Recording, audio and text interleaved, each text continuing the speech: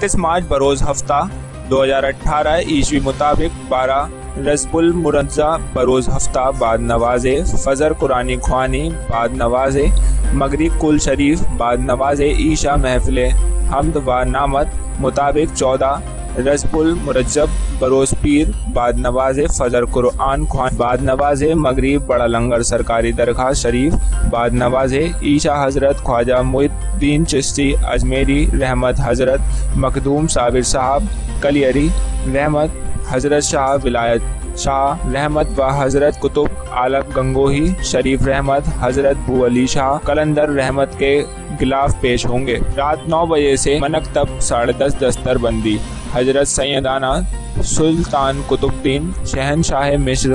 با آپ کی اولاد اجواز ہمراہ شہید ہوئے خواجہ نیچی کا بڑا کل شریف۔